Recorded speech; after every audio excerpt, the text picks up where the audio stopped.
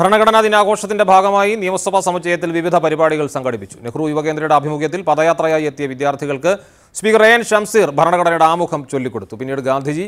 doctor B R Ambedkar Jawaharlal Nehru എന്നിവരുടെ പ്രതിമകളിൽ പുഷ്പാർച്ചന നടത്തി നിയമസഭാ ലൈബ്രറിയിൽ ആരംഭിച്ച പുസ്തക പ്രദർശനവും സ്പീക്കർ ഉദ്ഘാടനം ചെയ്തു